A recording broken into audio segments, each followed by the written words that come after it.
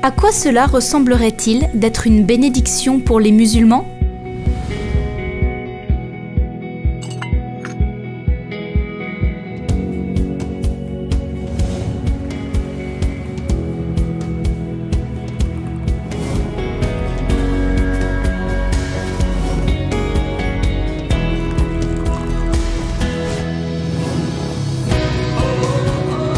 Cela signifie partager nos vies et vivre notre foi.